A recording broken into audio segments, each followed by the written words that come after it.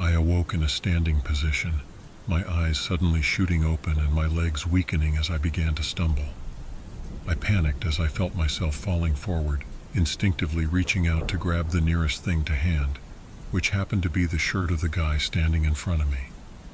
Watch it, buddy, he exclaimed in annoyance, although the mystery man did take hold of my arm and shoulder before helping me to steady myself. Are you okay? he asked sympathetically. Yeah, I think so, I replied through trembling lips as I tried to get my bearings. Well, just keep your cool, he instructed, and whatever you do, don't step over the white lines. I didn't understand what he meant, but then I adjusted my eyes and surveyed the scene around me, and what I saw was a vision of hell. I hadn't seen the face of the man who'd helped me, but when I looked up, I could make out the back of his head in the darkness and realized he'd turned around after assisting me, now facing forwards. Darkness was all around me, but there was a dim illumination on the ground which I stood upon. Two lines of white light about three feet apart, one to the left of me and the other on my right. I remembered what the man had told me a moment earlier, warning me not to step outside of these lines. I didn't know what he meant, but somehow realized this was probably good advice. I creaked my head to one side, looking over the shoulder of the man ahead and seeing a line of people standing in front of him. A long, single file queue of shadowy figures stretching for several hundred yards up what appeared to be a slight elevation. All stood within the two white lines which seemed to operate like some kind of emergency lighting, and at the top of the queue of unidentified figures was a doorway of bright, almost blinding light, a literal beacon in a sea of darkness, inviting, comforting, and offering a glimmer of hope in what otherwise seemed like a dangerous situation. I didn't understand what this place was or why I was here, but in that moment, I believed the shining white light ahead was my salvation. There were dozens, maybe hundreds of people standing in the queue in front of me, and I couldn't move past them without stepping outside of the white lines. I shook my head, experiencing an almost crippling anxiety as my mind raced to make sense of this inexplicable situation. I opened my dry lips and struggled to speak, addressing my fearful question to the anonymous man in front of me. What? What is this place? How did we get here? He didn't turn his head to face me, but the man did respond.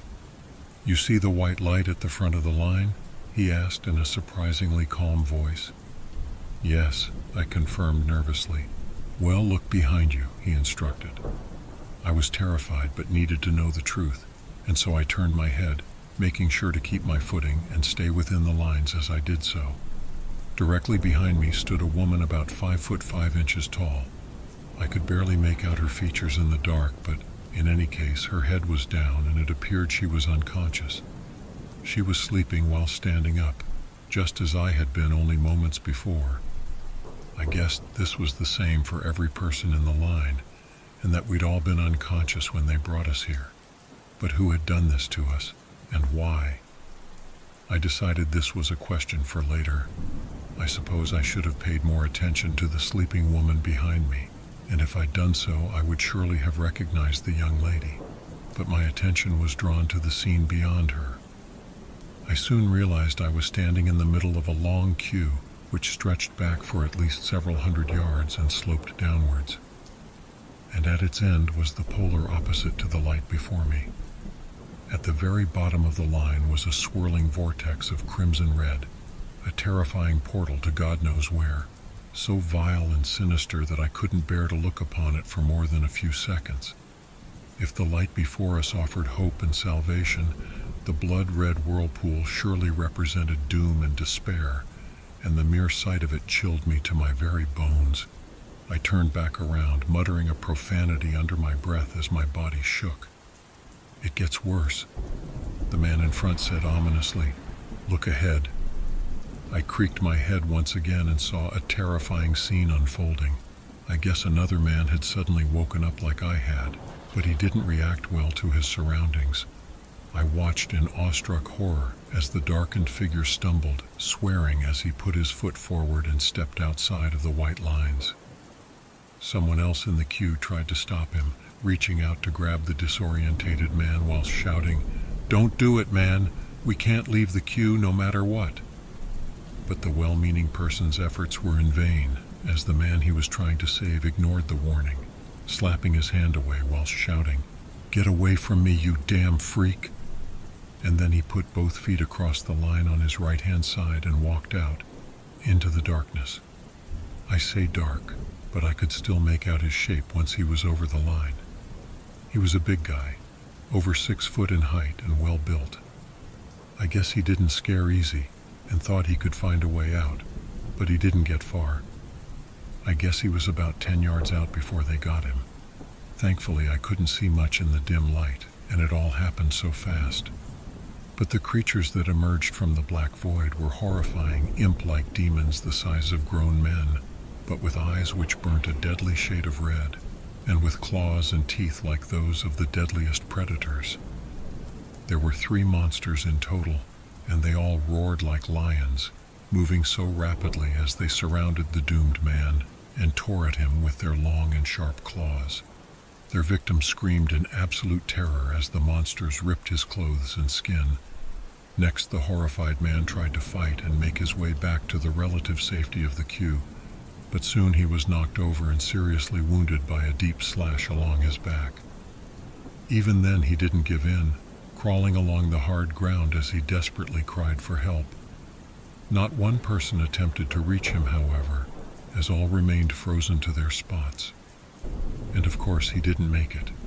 A moment later, one of the demons grabbed him by the legs, pulling his body away from the line as he screamed and tried in vain to dig his nails into the ground. Before long, the monsters and their victim disappeared into the darkness. We could no longer see them, but we did hear the vicious attack reaching its horrifying conclusion. The doomed man screamed louder as his predatory attackers growled with sadistic glee. And then I heard the appalling sounds of skin ripping, bones cracking, and finally what I can only assume was the noise of the monsters feasting on his still warm flesh. What the fuck? I swore aloud. I retched, feeling like I was going to be sick, but nothing came up. Panic soon spread along the entire line as people reacted to the vicious killing we'd all just witnessed. Some deteriorated into screaming hysterics, whilst others fell into themselves, whimpering or quietly praying under their breath. But all were in agreement on one point. We must not step outside of the white lines. Stepping out of the queue meant certain death, while within the lines we were safe, for now at least. I shivered as I tried to come to terms with the extreme violence I'd just seen. It seemed like the temperature had suddenly dropped, or perhaps this was just my brain's perception. In any event, my mind was now racing, and I wanted to ask 100 questions at once. I noticed how the man in front of me had hardly reacted to the savage attack. It was like he'd expected it to happen. I also recalled how he'd helped me when I first woke up but I was still to see his face, and even now he would not turn around. He'd been the one who'd warned me about the rules, and that simple advice had probably saved my life. Nevertheless, I had the distinct feeling that his faceless man knew more about our situation than he'd shared thus far, and so I was determined to ask him further questions. But before I got the chance, I was disturbed by a soft cry from behind me. I jumped in shock and turned around almost accidentally putting my right foot over the line before I stopped myself. Once I'd turned, I saw the woman behind me slowly falling, and I reached out to catch her, taking hold of her slender body and helping her back up to her feet. I felt a familiarity as I held her in my arms. Perhaps it was her scent, or maybe my muscle memory. But then she lifted her head and met my eye, and I almost jumped out of my skin once I saw her face. Sally? I said in astonishment, as if my eyes were deceiving me. Joshua? she answered weakly, as she opened her eyes and slowly adjusted to our new environment.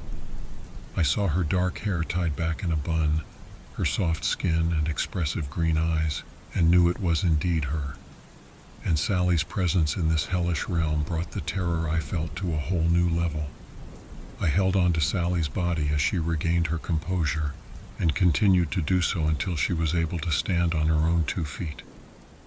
And I was still thinking of what to say as I looked into her frightened eyes, and a flood of old emotions came back to me, some good, others bad. In the end, I could only repeat the crucial advice I'd been given, saying, Don't step outside of the line, Sally. Whatever you do, stay inside the lines. Sally looked up at me in confusion, and I was prepared for a stream of follow up questions which I likely couldn't answer. But before we got the chance to speak, the man in front of me spoke, asking, Do the two of you know each other? Um, yeah. I answered without thinking. Sally and I used to date. Hmm, interesting, the man replied without elaborating. He was still facing forward and so couldn't have seen Sally falling into my arms. He must have been reacting to the sound of our voices and eavesdropping on our conversation. Meanwhile, Sally adjusted to our terrifying situation, looking ahead at the light and back towards the vortex. Her reaction was much the same as mine, as I saw her face contort with horror and confusion. Where are we? she asked, looking to me for answers. That's what I'm trying to find out, I replied before turning back towards the man in front. Hey, buddy, I said, you know our names. How about you tell us yours? The man still refused to turn his head and he didn't speak for a long time. But finally, he did answer my question, saying, You can call me Milo. Okay, I replied hesitantly. The name rang a bell somewhere in the back of my mind, but I didn't dwell on it. Well, Milo, how about you tell us what the hell is going on? I demanded. What makes you think I know anything? he replied cryptically. I think you know more than you're letting on, I said. You told me about the lines after all. Fair enough, Milo admitted. I know some things, but not everything. He paused before continuing. You wake up in this queue, standing between the white lines. You know what happens when you step outside of them. Sally didn't, not yet anyway. I was grateful she'd been spared the sight of the savage killing. What are those things out there? I asked, although a part of me didn't want to know the answer. Milo shrugged his shoulders but still didn't turn around. Can't say for sure, he said. They could be demons, monsters, aliens, or genetic mutations. In the end, it doesn't really matter, does it? I know they dwell in the darkness all around us and they see everything. For whatever reason, they can't step inside of the lines. We're safe from them as long as we stay in the queue. But if we enter their domain, they'll slaughter us without hesitation. I turned to Sally, seeing the fear in her eyes. That's a look I hadn't seen in a long time and hoped I would never witness again. I put a hand around my ex's shoulder to comfort her, but she pushed me away and I was forced to remember why we'd broken up in the first place. I put this to the back of my mind, however, instead focusing on my inquisition of the faceless man in front. So we're trapped here? I asked fearfully, the desperation now evident in my voice. Oh no, Milo answered in an almost flippant tone. I'm afraid you don't understand. The queue won't remain stationary. When the trumpets blow, we move forward one at a time. When the trumpets blow? What the hell did that mean? I thought about it for a moment before I realized the implications of what Milo was saying. You mean we move towards the light? I asked hopefully. I knew little about our situation, but surely the white light at the top of the queue was our chance at salvation. Yeah, that's what happens, but there's a catch, Milo said. What do you mean? I demanded in angry frustration. You'll find out soon enough, was Milo's typically evasive response. I opened my mouth to speak again, but then I heard it. The trumpets, blaring from God knows where, a deafening and terrifying sound which blasted out from the darkness, seemingly surrounding us on all sides. Both Sally and I collapsed down to our knees, covering our ears with our hands in a futile effort to drown out the awful din. I felt the pressure building inside of my skull and thought my head was going to explode. But thankfully the trumpet stopped after a few moments and then the line started to move. I looked forward and saw the figure at the front of the queue stepping into the light, his dark silhouette immersed as he raised his arms and cried out in glorious ecstasy, gladly allowing the portal to transport him to another realm. And with that, he was gone, freed from this nightmare, and surely now safe from the monsters which dwelt within this dark hellscape. Wow, I expressed in amazement. But like Milo had warned us, there was a catch. Suddenly we heard a blood-curdling scream from behind us, a cry of abject terror emitted by somebody in mortal danger. I swiftly turned my neck, seeing how Sally was already facing in that direction. My eyes widened in terror as I saw the man at the back of the line, his body being physically sucked into the swirling vortex of crimson red. He continued to scream as his legs were pulled inside, and soon he was up to his waist, reaching out desperately and digging his nails into the frozen dirt beneath him. Please, please help me, he cried. There was a woman ahead of him in the line, and, to her credit, she did try to help. Reaching down, she grabbed his hand tightly, but the pull of the hellish vortex was too great. Within minutes, she lost her grip upon him, and the man was sucked through the portal. I remember the look on his face the second before he disappeared into the abyss, his eyes so wide and his mouth frozen in a silent scream. And then he was gone. The middle-aged, slightly overweight woman who'd tried to save him suddenly cried out as something inside of her just broke. I can't do this, I can't be here, she exclaimed. And before anybody got the chance to stop her, the frightened woman did the worst thing imaginable. She stepped over the white line. There was nothing we could do but watch as the poor woman attempted to run into the darkness. Inevitably, she didn't make it far. The attack didn't play out like the previous time. She wasn't set upon by a gang of savage monsters, but instead confronted by a single creature, which suddenly emerged from the black abyss to block her path. The woman just froze, stopping dead in her tracks as she stared into the monster's burning red eyes. She was seemingly unable to flee or fight, as if the beast had her under its terrible spell. My jaw dropped as I observed the unreal scene. For a moment I naively thought she might be okay, and that the monster would actually let her live. But then, in a single rapid and brutal action, the beast raised its muscular arm and thrashed out with its claw, easily cutting the woman's jugular wide open. She grabbed at her throat as blood poured from the gaping wound and soon collapsed heavily to the floor. Her body continued to thrash as she choked on her own blood, but a moment later and the beast leaned down and grabbed hold of her hair, dragging the slowly dying woman into the darkness. Oh my God, Sally cursed under her breath, and I couldn't utter a word. This was the second person I'd seen slaughtered by the monster stalking the shadows, but it didn't get any easier. Frightened murmurs and the occasional scream went along the line as all present reacted to the horrors we'd just witnessed. Those who hadn't seen the deaths firsthand no doubt heard about them from their neighbors in the line, and the panic spread like wildfire. Still, I noted how Milo had not reacted at all to the bloodshed. Still, I reckoned he must have eyes on the back of his head, and perhaps he'd seen it all before.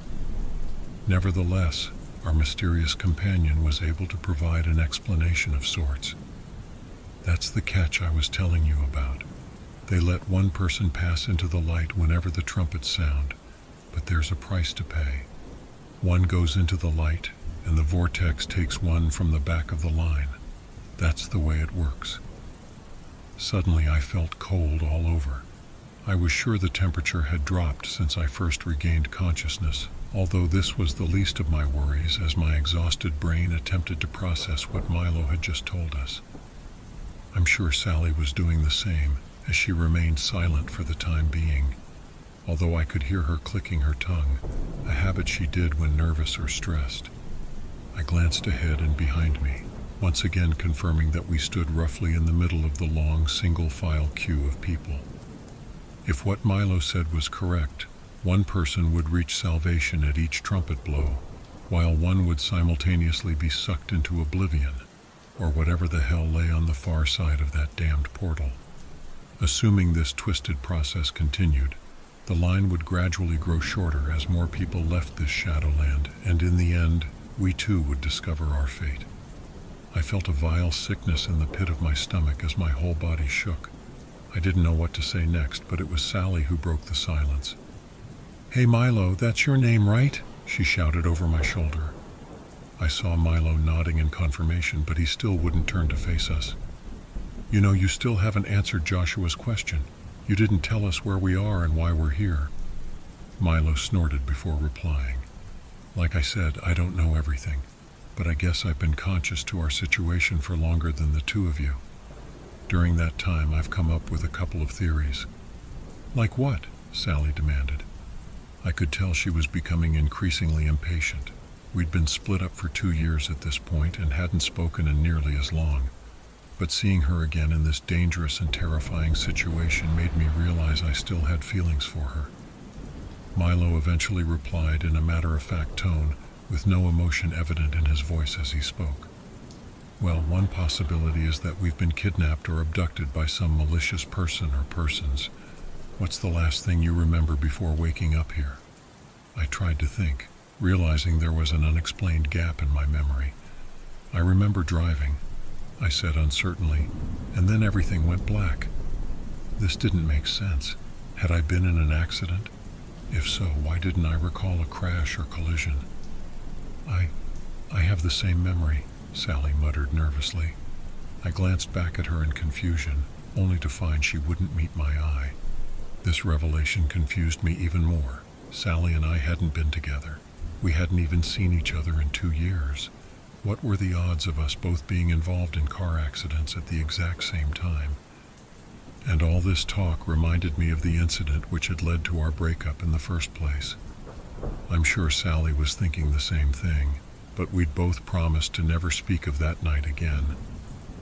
So, if we were abducted, then who has us? Sally continued. And why are they doing this to us? That's the one million dollar question, Milo replied. It could be aliens, I reckon. Or maybe it's the government running a psychological experiment or some sick billionaire who tortures people for fun. But of course, there is another possibility, one which is more supernatural in origin. I stared at the back of Milo's head in astonishment, irritated that I couldn't see his face and tell whether he was serious or not. There was a tense pause while I waited for Milo to elaborate but to my surprise it was Sally who spoke up next. You mean that we're dead? She said ominously, that every person in the line is deceased and trapped between heaven and hell. Her chilling words hung in the air as we considered the terrifying inference. It's a possibility that's occurred to me. Milo responded dispassionately, breathing life into the horrific theory. So if we really are dead, Sally continued, the white light means salvation while the whirlpool means eternal damnation. Milo didn't answer her question, but the conclusion Sally had come to seemed like an obvious one. Still, there was something which I just couldn't understand. But the people at the front of the line are guaranteed to reach salvation, while those at the rear will surely get sucked into hell. I exclaimed, Why are some saved and others doomed? I waited for an answer, but a moment later, and the trumpet sounded once again, forcing us to cover our ears and making further conversation impossible. And of course, the whole ritual played out again, as a solitary figure gladly walked into the light, while the poor sap at the rear was pulled into the whirlpool, screaming in abject horror as the vortex took him. The line had become slightly shorter, and it was now clear to everyone standing in the queue what was going on here. The fear in the icy cold air was palpable, and soon the line behind us descended into panic and chaos.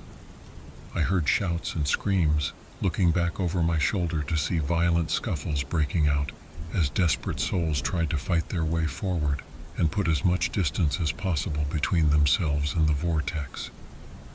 The results were tragically inevitable. The white lines were only three feet apart at most. If people had been more cooperative, they could have slipped past one another and reorganized the line in a sensible manner. But nobody wanted to be left at the back of the queue when the dust settled, and so fights broke out. Desperate struggles which resulted in several people being thrown over the lines on either side. And of course, the monsters were there waiting. A dozen or more demons emerged from the shadows, roaring with fury as their red eyes burned with an intense hunger. The scene which followed was worse than anything we'd seen thus far, as ravenous monsters greedily tore into their near helpless victims with claws and teeth. I couldn't bear to watch and so turned around, but I could still hear the screams and the awful sounds of ripping and tearing. Thankfully, the massacre soon ended.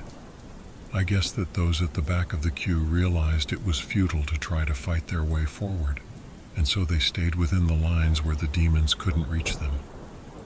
But suddenly a horrifying thought crossed my mind, and I turned to speak with my ex girlfriend.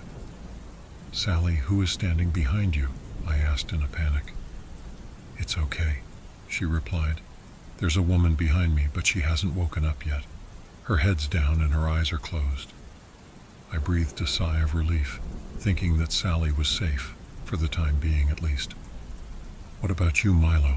I said, addressing my question to the faceless man ahead of me. Don't worry about me, he replied firmly.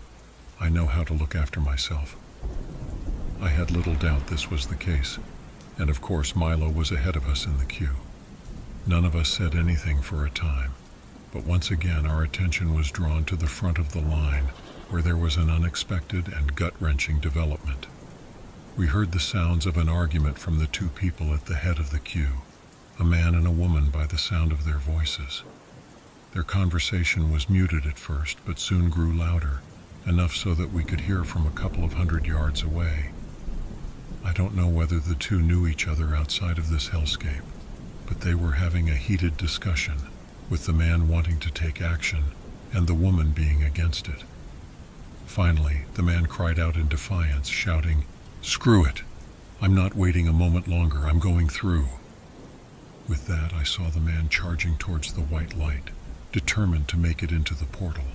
But what happened next was horrific. The man didn't pass through a porous membrane like the others. Instead, he charged into a wall of flames, screaming in total agony as his skin and flesh burnt fiercely. As within seconds he was engulfed by the unholy inferno, his body reduced to mere ashes. The man's female companion yelled out in grief, and the rest of the line fell into a chilling silence. We've all got to follow the rules, Milo muttered solemnly. There are no shortcuts. For once I understood what he meant, and my jaw dropped when I considered what had just occurred. The man at the head of the line had suffered an agonizing, fiery death, and all because he was impatient. If only he'd waited until the trumpets blew, he would have safely crossed over to paradise. Slowly but surely, the line moved forward. We were now one step closer to salvation, but no one was likely to make the same mistake. Nevertheless, the situation continued to develop in an unexpected way. We heard muttered chatter from all along the line, dozens of separate conversations, but which surely related to the same topic survival. And then something extraordinary occurred. People began to swap places in the queue voluntarily, carefully pushing past each other whilst ensuring that nobody stepped outside the lines. There weren't many changes to the prearranged order, but there were some, and these transfers were apparently done after mutual agreement and without the threat of violence. I was astonished, particularly when I saw the bald-headed man who now took the unenviable position at the very end of the line. But he did not seem afraid of his imminent damnation. Instead, he sat down cross-legged on the cold ground, his form illuminated by the burning red of the vortex.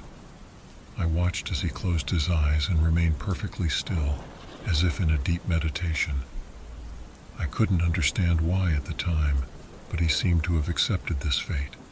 And with that, the ominous trumpets blared, drowning out all other sounds as the now familiar cycle played out once again. I guess the woman at the top of the line had recovered from seeing her male companion burnt alive, because she slowly and carefully stepped into the light and safely passed through to the other side and meanwhile the bald-headed man at the rear maintained his monk-like composure right to the very end.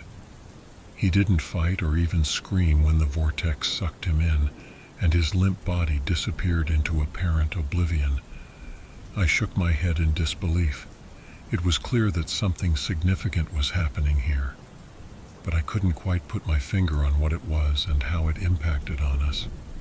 But Sally was quicker off the mark which I suppose I should have expected. She'd always been smarter than me and knew how to cope in a crisis situation. I'd learnt as much during the incident two years before.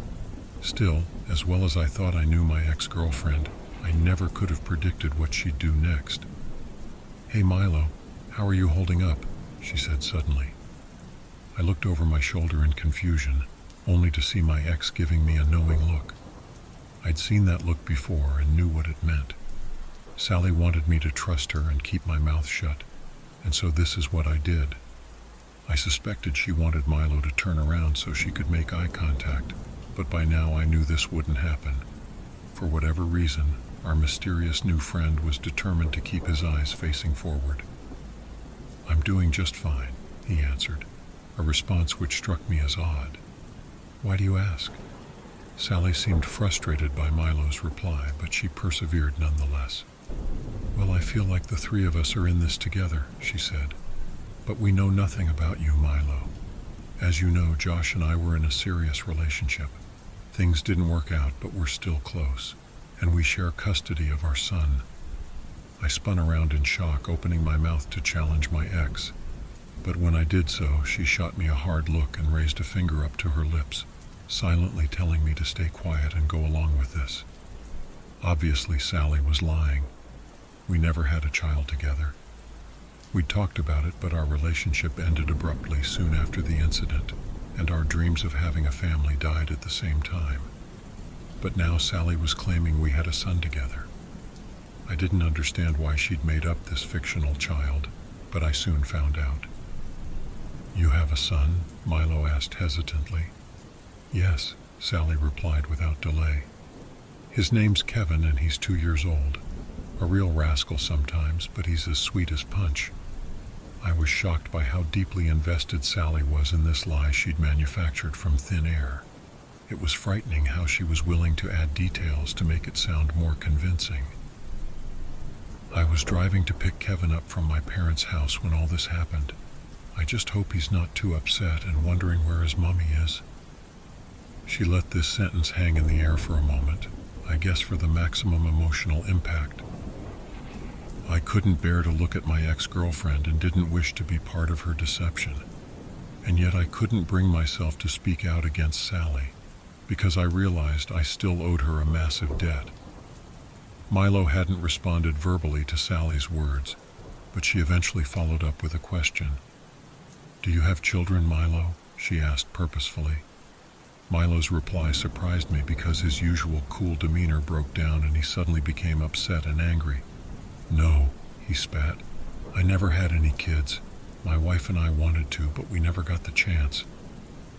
I think Sally was taken aback by his emotional response, but she soon regained her composure and continued with her ruse. I'm really sorry to hear that, Milo, she said in what I knew was mock sympathy.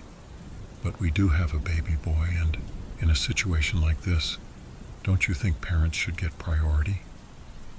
All of a sudden, I got it. I guess I was slow to understand what my ex was doing, but Sally always said I wasn't the sharpest knife in the drawer.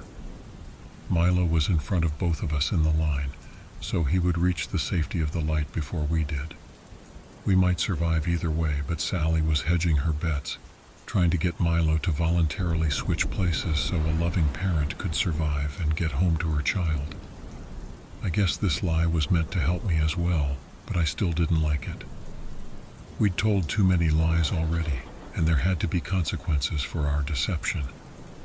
Nevertheless, I didn't say a word, instead waiting for Milo's response. But before he had an opportunity to answer, the trumpet sounded once again. As we covered our ears, the familiar pattern took place before our eyes, with one figure stepping into the light and another getting sucked into the vortex. In the aftermath, an individual broke from the line and stepped into the shadowy kill zone. I was shocked to see this figure was little more than a child, an adolescent boy with wild terror in his eyes. I didn't see whether the kid was pushed or if he ran, but he was quick on his feet and seemed determined to make a break for it. Inevitably, a gang of three bloodthirsty demons emerged from the shadows and grasped out at the kid with their claws. But amazingly, the kid dodged all of them, making it past the trio of monsters and sprinting into the darkness. He disappeared from sight, and for a brief moment I thought he could actually make it to safety. But then we heard a blood curdling scream, closely followed by the cracking of bones and the ominous sound of a huge beast biting into flesh.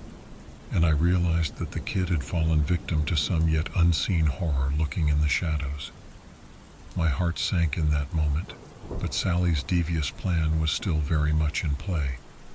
Milo predictably didn't react to the kid's violent death, but he did recall the conversation we were having before the trumpet sounded.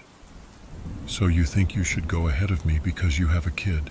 he asked, his voice returning to his characteristic emotionless tone. I remained silent, but Sally spoke up on our behalf. Frankly, yes, I don't want to be brutal about it, but we deserve the chance to see our boy again. But if we really are dead, then what difference does it make? Milo blurted out. I had to admit that he had a good point here. I didn't know how Sally would respond to this direct question, which poked a massive hole in her story. But of course, she had a pre prepared argument. But we don't know that we're dead, not for sure. If we have been abducted, then reaching the light could bring us home. And besides, even if we have passed away, don't you think two loving parents deserve to go to heaven? I didn't know how Milo would react to this loaded question, but I certainly didn't expect what happened next. Because suddenly Milo began to laugh, quietly at first, but growing ever louder. But his laughter wasn't one of mirth. Instead, it was filled with bitterness and scorn. I turned around to look upon Sally, only to find she was as baffled as I was. We had no choice but to wait until Milo finished his mad cackling and opened his mouth to speak, his voice now filled with passionate anger. You really don't know who I am, do you? I hoped there would be some recognition, some remorse, but now I realize this is beyond you both. I shook my head in confusion, feeling like there was something I should have picked up on, but sadly I remained oblivious. I'm sorry, Milo, I don't understand, I said nervously. You don't, huh? Milo spat back. Well, maybe it's about time you saw my face. And with that, he slowly began to turn around for the first time. I stood there in nervous anticipation, my entire body trembling because I suspected what we'd see would not be pleasant. And when his face was illuminated, I recoiled in horror as my most painful memory came back to punch me in the gut. Milo's face was in actual fact a grotesque death mask, his dead eyes bulging and his forehead caked in dried blood. His skin looked like leather, and when he opened his crusty lips, green water poured from his mouth and nostrils. I heard Sally scream behind me, and I was about to follow suit. But in that moment, the trumpet sounded, louder than ever this time. I fell to my knees and buried my head in my hands, but the almighty din was too intense. I felt like my head was about to explode, and then I found myself drifting out of consciousness as suddenly my whole world went black. And then I was in another place and time thrust back to a point in my life which I had tried my hardest to forget. Sally and I were in my car, driving along a lonely country road late at night. We were coming home from a party and were in high spirits. We'd both been drinking. I was driving and surely over the limit, but I'd made this journey a dozen times before and thought it would be fine. I remember the two of us laughing over a shared joke. I glanced over to the passenger seat, looking into Sally's mischievous eyes and feeling so much love for her in that moment. But I should have kept my eyes on the road because I didn't see the pedestrian until it was too late. A sudden panic overtook me as I slammed my foot on the brakes, but I hit the man head on, horrified as his broken body was thrown up onto the hood before it smashed against the windscreen. I brought the car to a stop as the body fell heavily to the ground and I sat frozen, still gripping a tight hold of the steering wheel and in a state of shock. Slowly I turned to look at Sally and saw an expression of sheer horror etched across her face. Joshua, what have you done? she whispered, and I didn't have an answer. After some time, we exited the vehicle and went to see to my victim. What we found was a bloody mess of a man, a human body broken almost beyond recognition, we were both sure he was dead. Sally and I stood there under the headlights on the side of the abandoned road, looking down at the corpse of the young man I'd just run over. And then I really started to panic. Sally, what the fuck am I going to do? I exclaimed. I've killed a man, They'll send me to prison for this. That's not going to happen, Sally answered firmly, her eyes narrowing as she took control of the situation. There are no witnesses. Nobody saw what happened. She paused briefly, letting those words sink in. The lake is only five miles from here. We can make him disappear. I glared at her in shock and disbelief, disgusted by the suggestion. But of course, I went along with her plan. I didn't wish to face the consequences of my actions, and so I conspired with my girlfriend to cover up the crime. With some difficulty, we lifted the body and loaded it into the trunk of my car. I vividly recall seeing the man's grotesque death mask, his dead eyes looking upwards into the night sky as we slammed the trunk shut and sealed him inside. We drove to the lake, exiting the car at the top of a disused jetty after releasing the handbrake watching in solemn silence as the vehicle rolled downwards and disappeared under the water's surface. Sally and I made the long walk home that night, barely speaking a word as the seriousness of our crime hit home. We reported the car stolen the next morning, Sally giving the report to a disinterested police officer who didn't ask too many questions. A few days later, we heard a missing person report on the news, a young man who had been walking at night and never made it home. In the days and weeks which followed, I lived in a state of constant anxiety, forever fearing a knock on the door. But the cops never made the connection and didn't find the body. I guess it was about two months later when Sally and I were watching TV at home, and suddenly there was a press conference featuring a teary eyed woman giving a statement with a photograph of the missing man framed behind her. She pleaded for anyone with information to come forward and wept as she begged for her husband to come home, and the missing man's name was Milo. Suddenly, my ears were filled with the sound of trumpets, and I was brought back to the dark hellscape, except the circumstances had changed during my absence. The first thing I noticed before I even opened my eyes was the overbearing heat.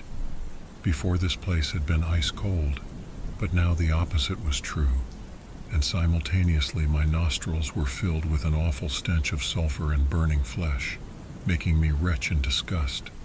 But when my eyes opened, I almost jumped out of my skin, and I started to stumble until a pair of arms grabbed me and held me up.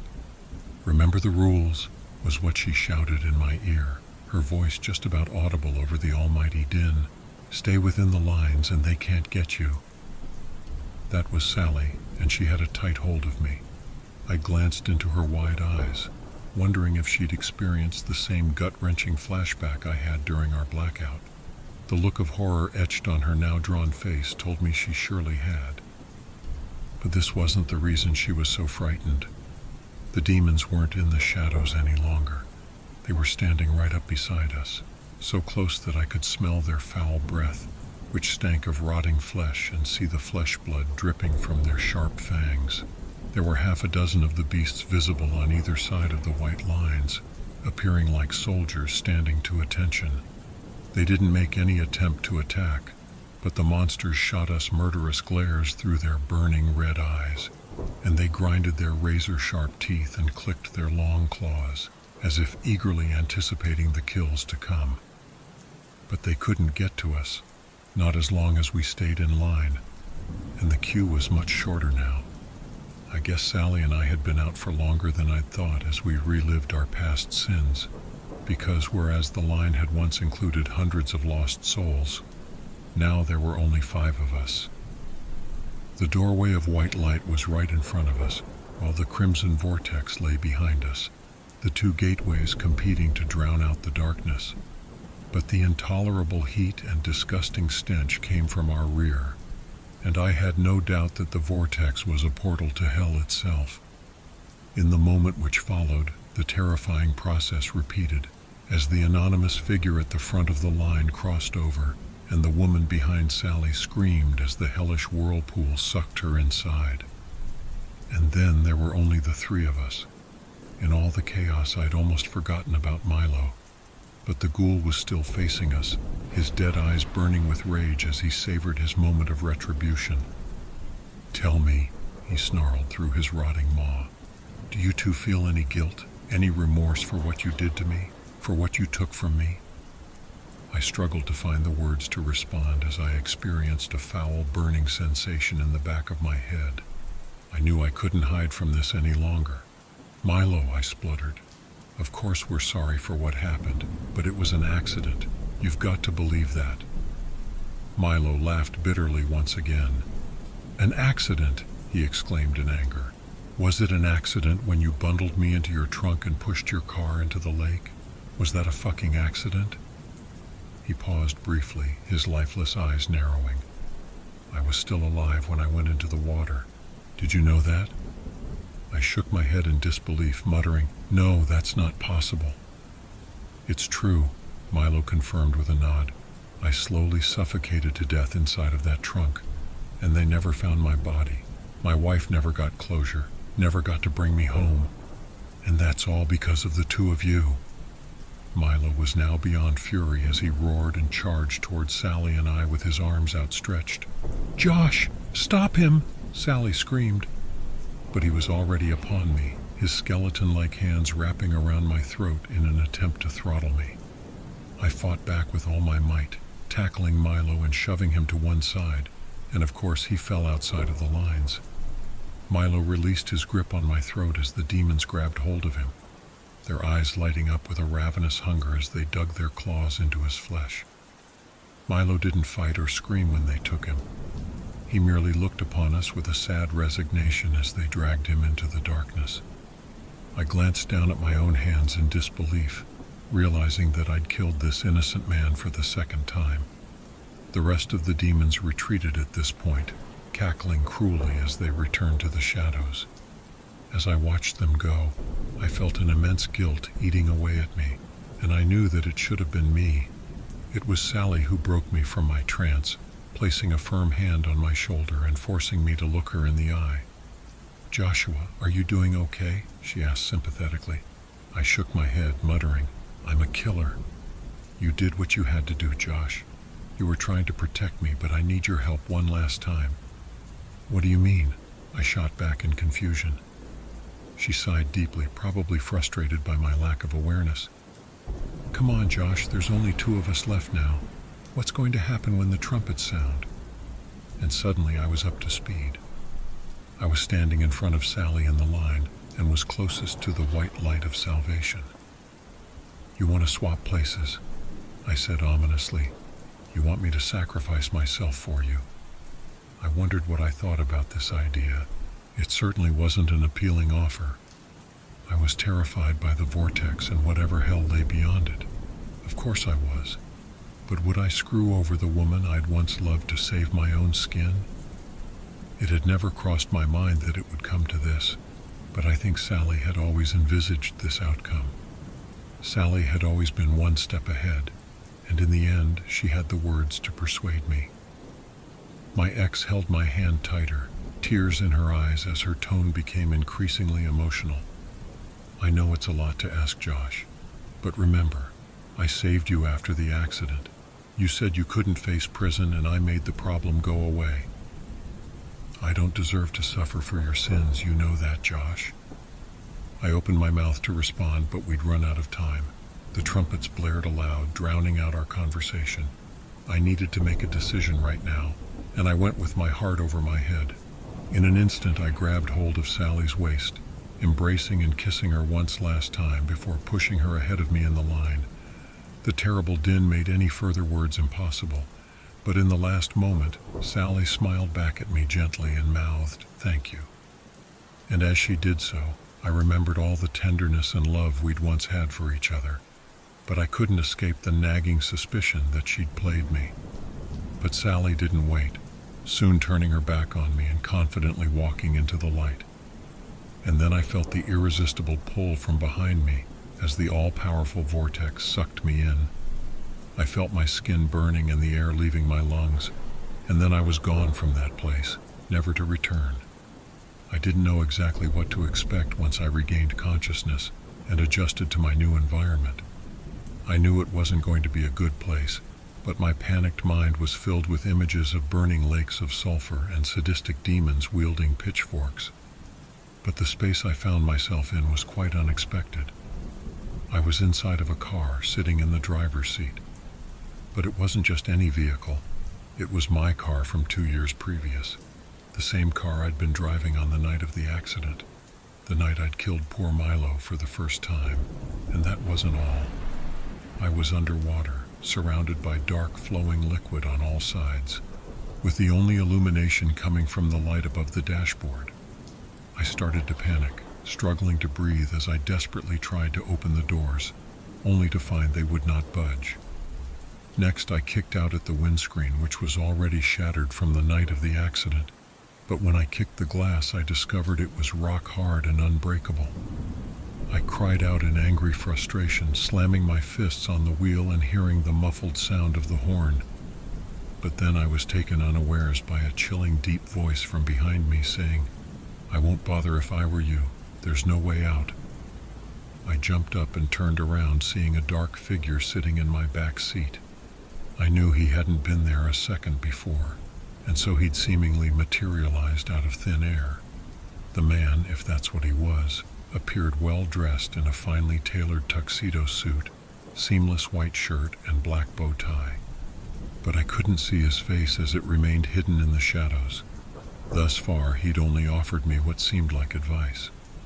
Nevertheless, there was something very disturbing about his tone of voice and whole demeanor, and so I guessed this mysterious individual was no friend of mine. I felt like history was repeating itself and feared the worst struggling to speak through trembling lips and asking, What is this place? Isn't it obvious? The shadowy figure replied. It was, of course, and I needed to face the grim reality of my situation. I'm in hell, aren't I? This is my personal hell.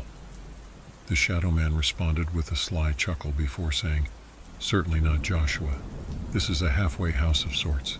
Call it purgatory if you will. Believe me, you'd know if you were in hell. I experienced a wave of emotions in that moment. Relief for sure, but as always I was confused. I don't understand, I exclaimed. I was sucked into the vortex. I smelt the sulfur, felt my body burning. You made an assumption, the man replied abruptly. Did anyone tell you that one portal led to heaven and the other to hell? I pondered his words for a moment until the horrifying implication became apparent. Sally, I exclaimed, what happened to Sally? The man sighed before answering. Sally is somewhere else. Don't worry about her now, Joshua. You won't see her again, not for a while anyway. I gulped, feeling a chill as I thought of my ex-girlfriend and feared for her safety. But it seemed there wasn't anything I could do for her right now. And what about me? I muttered nervously. What will become of me? There was a lengthy, almost unbearable pause before the shadow man answered me. I'll be honest with you, Joshua. You've got us in a bit of a pickle. On one side, you committed a heinous sin on the mortal plane, but then you made a noble sacrifice in the Shadowlands to save a woman you once loved. Your sacrifice was futile in the end, but you weren't to know that. We're going to need some time to consider your fate, Joshua. In the meantime, you can stay here, in this watery prison of your own making. I experienced a renewed panic and also anger, crying out before I had the chance to think. No, you can't keep me here. I won't stay. The Shadow Man's reaction was instant and furious. He leaned forward, allowing me to see his hideous eyes through the darkness, burning crimson orbs which reminded me of the vortex I'd been pulled into. Mesmerizing and yet terrifying at the same time and when he spoke, his voice blared out like a banshee's wail. You'll do what we damn well tell you, he screamed. Do not test me, you wretched mortal. I can make all your worst nightmares come to life. I'd never been as frightened as I was in that moment, not during my mortal existence or even in the Shadowlands. Whatever this entity was, I realized he could inflict suffering upon me that I couldn't even imagine. I had no words to respond, and so I merely grabbed hold of the steering wheel and lowered my head in a meek submission. Very well, the Shadow Man said with a smug satisfaction. Goodbye, Joshua, until we meet again. I nervously glanced up into the rearview mirror and saw the entity melting away into the leather seat, and then I was alone. To this day, I remain trapped in this watery grave, staring out at the bottom of the lake which was the scene of my worst crime. I don't know how long I've been here. All I know is that I can't leave, not unless they set me free. I assume the Shadow Man will eventually return to reveal my ultimate fate, but for now, all I have is time. I've had what seems like an eternity to come to terms with what I've done. I think about Sally often, and Milo too. Will I ever see them again? I hope so, because when all my sins and regrets are washed away, all I want to do is make amends.